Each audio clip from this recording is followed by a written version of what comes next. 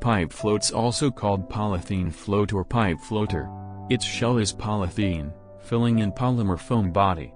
As the floating bodies of discharge hoses, it has the advantage of high float load capacity, shock resistance, aging resistance, and so on.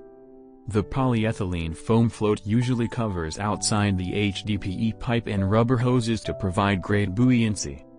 The installation method of the pipe floats is very convenient. A pipe float set comprises of two pipe float halves and a galvanized assembly kit. Stainless steel kits are available. We, Nanjing Deers generally customize the pipe floats according to customers' requirements and also provide a full set of services.